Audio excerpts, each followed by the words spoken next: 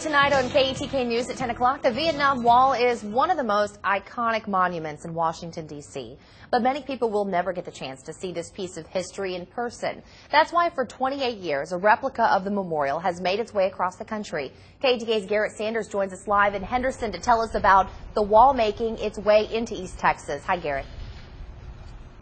Jen is here at Rader Funeral Home in Henderson. Now, though it's half the size of the original located in Washington, D.C., as we hear from one man, the memories it brings back are just as powerful. John Hill has never seen the Vietnam Memorial in Washington, D.C. in person, but every time memorials such as this make their way into East Texas, John Hill is there. Well, the people's names are on it.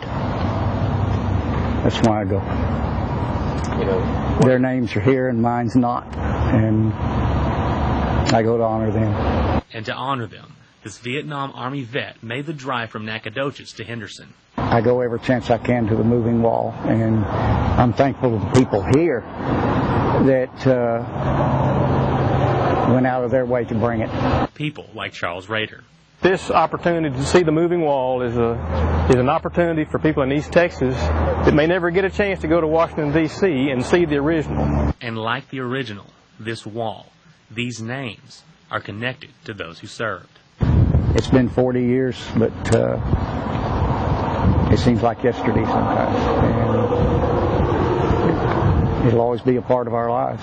And those soldiers that gave their lives and those that served that are still alive today never got thanked. And I think if we can just remember those men and women that died, uh, keeping it simple, just seeing the names Names etched onto a wall to be thanked and remembered by men like John Hill.